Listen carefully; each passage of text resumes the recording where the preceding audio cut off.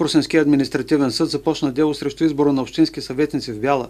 Производството е образувано по жалба на местна коалиция срещу решението на Общинската избирателна комисия от 27 октомври. Според жалбоподателите е била допусната техническа грешка поради неправилно приложение на метода на Хер Нимайер, вследствие на което мандатите за съветници не са били правилно разпределени по кандидатски листи. Днес в съда от коалицията поискаха математическа експертиза. Според председателя на Общинската избирателна комисия изчисленията са направени по елементарна математика, поради което не беше назначена експертиза експертиза. Адвоката на коалицията потвърди тезата си, че е допусната грешка при преразпределението на мандатите и поиска решението на ОИК да бъде отменено. От своя страна представителя на избирателната комисия обясни подробно как точно е сметнат вота. Всички действителни гласове 5318 се делят на 17, колкото е брой на мандатите в Общинския съвет. С закръгляне се получава 313 гласа, което е Общинската избирателна квота.